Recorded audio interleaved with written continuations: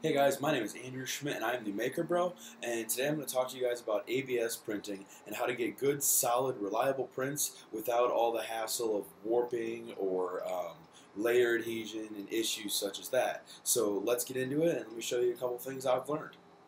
Alright guys, so here we have some prints done in eSun ABS Plus, and it's basically been a torture test that I've been going through over the last couple days to figure out the best most rigid way to print ABS. So if we look here, starting way down with these guys, here's a few torture cubes that I started with, um, just experimenting with different temperatures.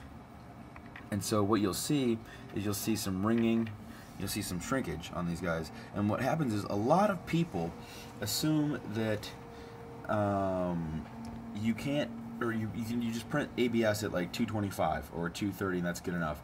Well, it actually sometimes requires a lot more temperature than that. And so here you'll see some really bad warping on 260 but when you get on these other ones, this back one here I think was 245 uh, this one's hollow.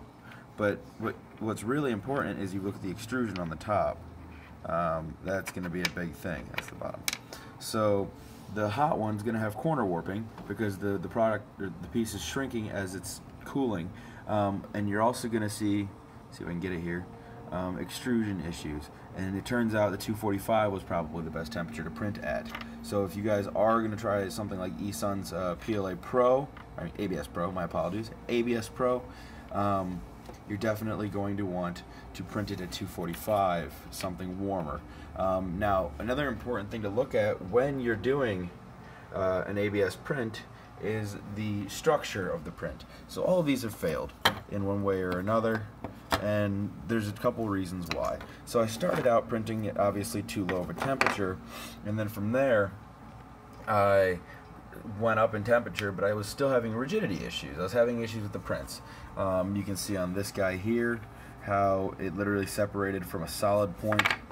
Um, it just it split apart, and that was one of the first ones I was printing at 235. It was just too low of a temperature for the plastic, and also too fast. You can see the ringing just doesn't look like a very good part. And then if we come over here, here's another one. I brought it up to 240 and once again it just split apart when it was actually put under stress.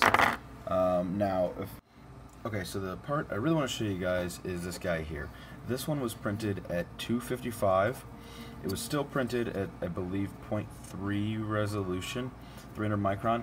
But if you look on the inside here, um, it's got a lot better infill. This was printed at, I believe, like 70%. This part is very, very solid. Um, it's still split, however. And why is that? Um, mostly because the infill pattern is wrong for the design. The infill pattern in this guy um, was rectilinear. And with rectilinear prints, you're going to experience a lot of issues. Into the details in here, try to get that on the camera, it's very rigid. The other thing that I did was I downloaded the new version of uh, the Prusa Special Edition version of Slic3r, which we have here, Prusa Edition. Why did I do that? Because in this version, they give you a special uh, slicing type that you don't get on other slicers, and it's called cubic.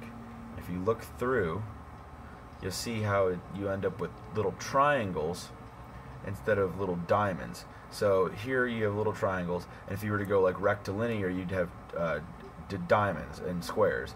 And so what that happens to turn out to is this is rectilinear. It's all over the place. It didn't get good layer bonding because it's a rounded part. The triangles bonded very well.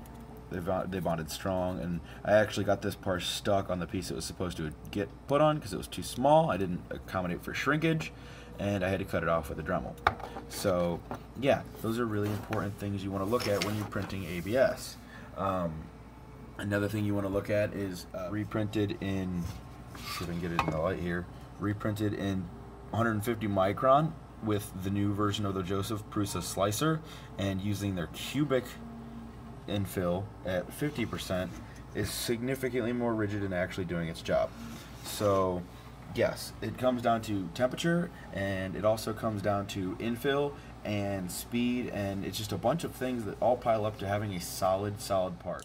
So just a couple things here to conclude. Um, when you're printing ABS, you're going to want to go and make yourself an ABS slurry, which is going to involve some acetone and some leftover ABS scraps stirred up and soaking um, for a little while, and then you're going to to spread that on your print bed with a brush. Now, I really recommend you use some blue painter's tape so you can just peel this mess off when you're done. Um, but what happens is when the bed heats up, the acetone evaporates, and that will allow um, your print bed, when heated, to become a tacky um, ABS, slightly ABS coated sub uh, build platform.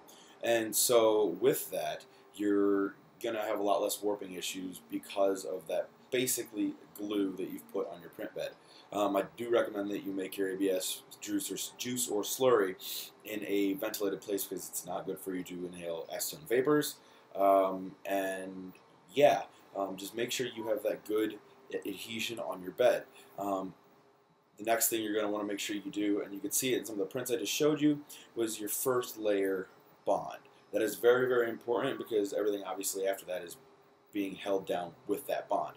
So with ABS, it's, it's so hot that it kind of it can sag if there's not a really good bond. So you really want to make sure that the squish is just exactly the way it needs to be. On the one print I showed you a minute ago, um, the printer did not have like auto bed leveling. It was an old printer that I have in a box, and with that, um, the bed leveling was set for uh, 0.3 on the first layer, and that then I switched down to 0.15 on the layer height, and I that basically caused the entire print to kind of sag a little bit. So that was just another issue. Um, so just to recap, you guys want to make sure you have good bed adhesion with a slurry and some blue painter's tape, proper heat. You want to print at proper temperatures. Uh, standard ABS, you're looking at 235 Celsius. Um, ABS Plus, you could go all the way up to 260 depending on your printer and what you're making.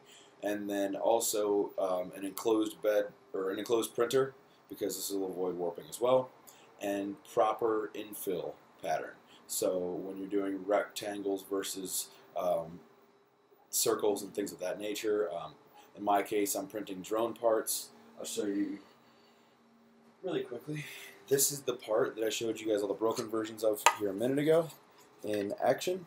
So on this uh, drone that I'm modeling, um, this is it's the arm coupler or socket, or whatever you call it. And with that, it has to be very strong because the entire drone is going to hang on this particular part. So it's very important that I got it to where this piece wasn't going to split under pressure. And this drone could weigh up to five, six pounds. I want to make sure that this is not the part that fails. Um, I don't want any part to fail, but I want to make sure this particular part is not what fails. So with that, the proper infill I wanted on this was a cubic infill with the new Josef Prusa slicer version, and also a very fine print quality because the smaller the layers, the more squished together they are um, at that temperature, the higher chance of a layer bond you're going to have. If you've got 0.4 millimeter uh, layers, you, you're going to have ridges and gaps all the way across your print, whereas they're a lot smaller on these, and the amount of heat allows them to act more as though glued together when you're printing them. So um, I hope I've given you guys some uh, relative information to how to print functional ABS prints. If you like this video, please let me know. Um, put it in the comments below. Give me a thumbs up.